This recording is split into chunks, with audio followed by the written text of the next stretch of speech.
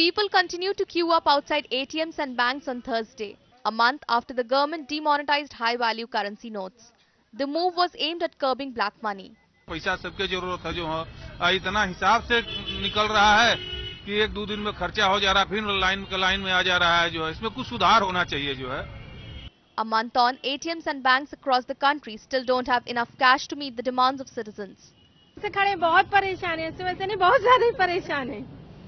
घर का जो घर का काम नहीं कर पाते बैंक का काम होता रहता है पहुँचते पहुँचते कैश खत्म हो जाता है वापस चले जाओ कितना पैसा मिल रहा है उसमें काम चल रहा है भैया काम क्या चल रहा कुछ भी नहीं चल रहा है अभी उधारी नहीं चुका पा रहे तो हम काम क्या चलाएँगे Prime Minister Narendra Modi had dropped a bombshell on November 8 by abolishing 500 and 1000 rupee notes that accounted for 86% of cash in circulation.